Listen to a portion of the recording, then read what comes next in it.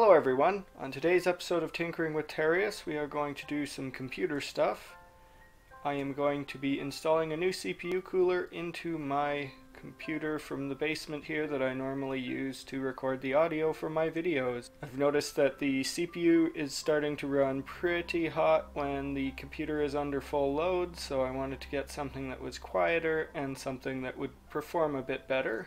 So the system has a 3770K from Intel in it, and it is just using the stock CPU cooler right now. The CPU cooler under stress is not handling it very well. It's certainly having a lot of thermal throttling when it's under 100% load. It's running all the way up to above 100 degrees Celsius, which is way above what it should be running at. So I want to get something that's a little bit better. So I got one of these NH-D9L CPU coolers and I got it for about half price through Amazon warehouse deals because the box has some cosmetic damage on it. There's a dent in it here and some other places there's some scratches and things. So I figured since it was on such a ridiculous deal, I may as well get it. And hopefully it will perform better than the current CPU cooler, which I don't think is going to be very difficult to do.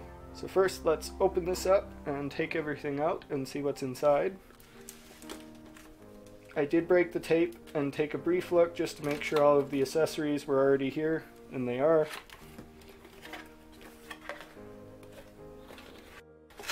It basically looks like it is completely brand new. Everything's still sealed in its packages, nothing has been opened. All of the components of everything are in the bags.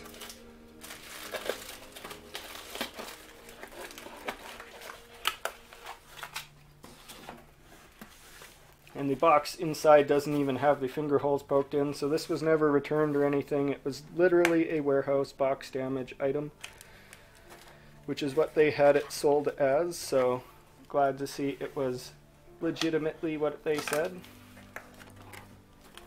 Let's see get this.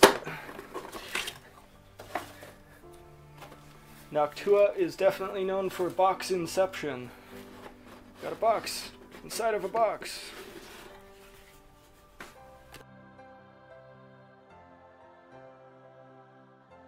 I'm pretty restrained by what coolers I can use on this computer because it's a mini ITX board in the Prodigy mini ITX version from BitFenix.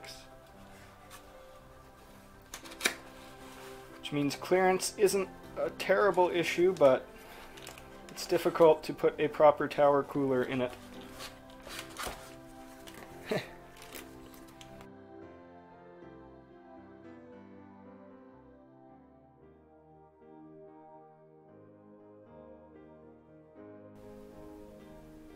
There's our Noctua mirror finish. Let's see how good is the mirror. That's pretty, pretty good.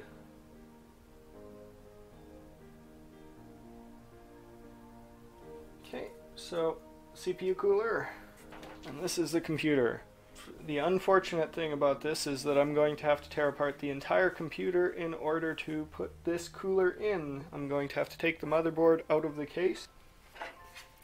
So the Prodigy case, everything is mounted vertically in here, which means that when I open this up, we are going to be greeted with the GPU first. I'm going to take both sides off.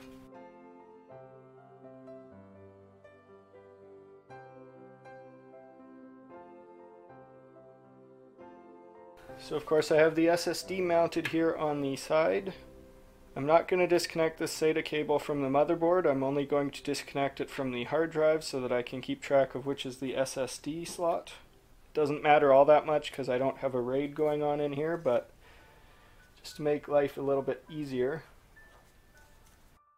And to denote that, I'm just sticking a piece of tape that says SSD to the cable here temporarily while we mess around inside. So we're going to have to remove graphics card.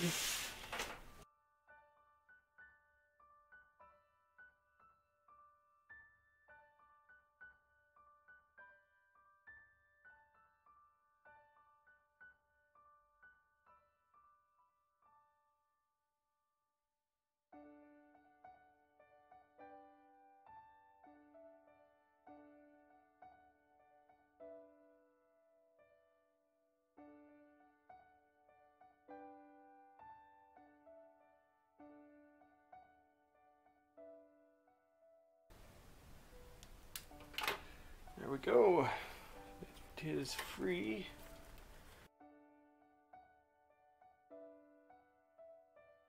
Got a little base to set this on now. So interestingly, I do have this marked already to show which port the SSD goes into, so I'm going to unplug the SATA cable. Let's see what we got here. We just have the Intel CPU cooler. So we're going to take this off and start working on installing the Noctua one.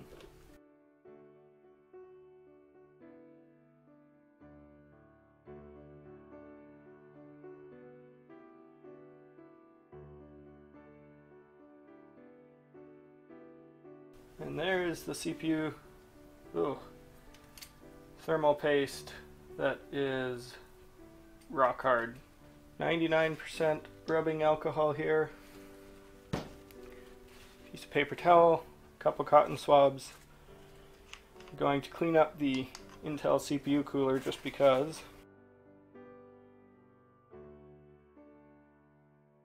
Now there's nothing inherently wrong about thermal paste that sets completely dry like that, but generally it doesn't have the same performance as thermal paste that continues to remain at least semi-liquid throughout its life.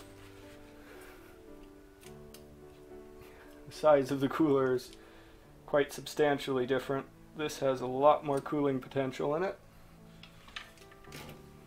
Hopefully it will make a big difference. So we are going to install the backplate now. And this goes on lining up with these little holes.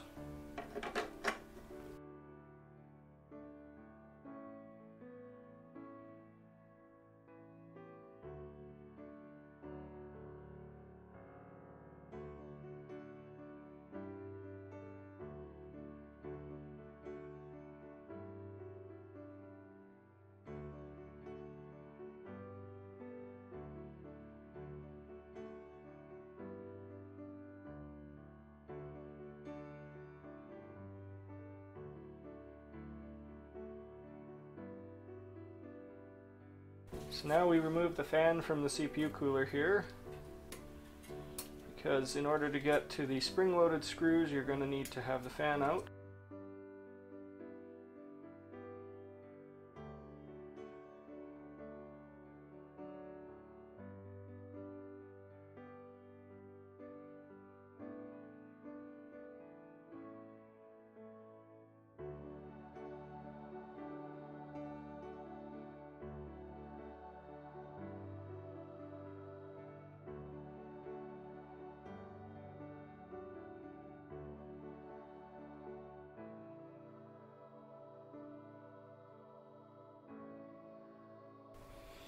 Okay, now we're going to install this all back into the computer case.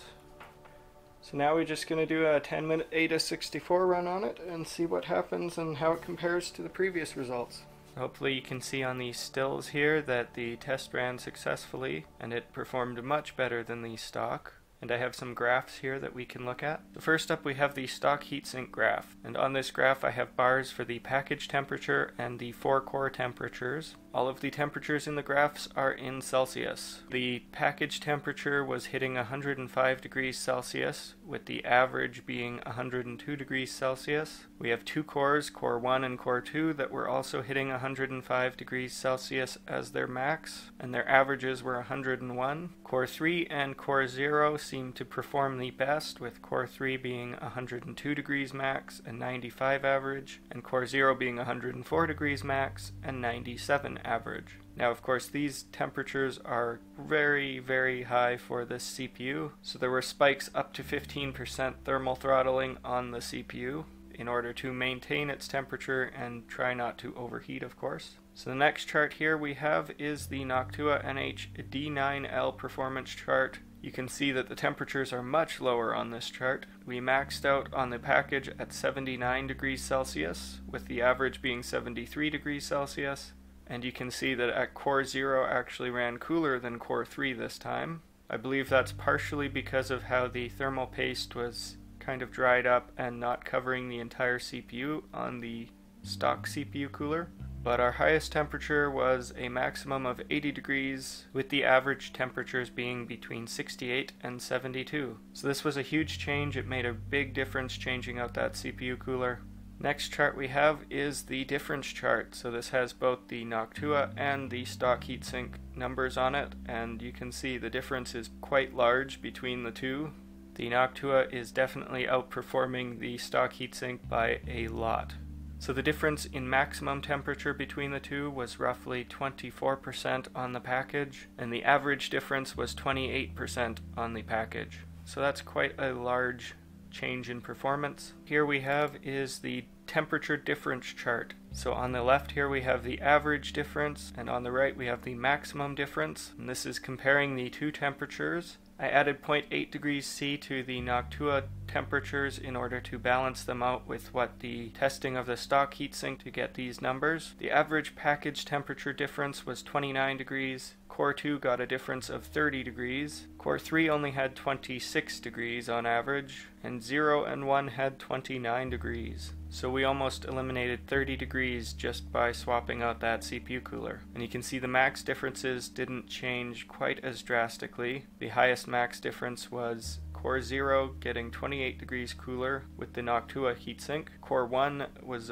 27 degrees cooler. Cores 2 and 3 were only 25 degrees cooler, and the package as a whole on maximum difference was 26 degrees. So here you can see the 20 second average data points for the package of the CPU. So I took one measurement every second for 20 seconds here, and then that's how we got our averages. So you can see that the package temperature was pretty consistent with the stock heatsink bouncing between 100 degrees and 105 degrees with a slight dip down into the 90s. With the Noctua cooler, it stayed at about 75 degrees with spikes up to about 77 and dropping down as low as 63.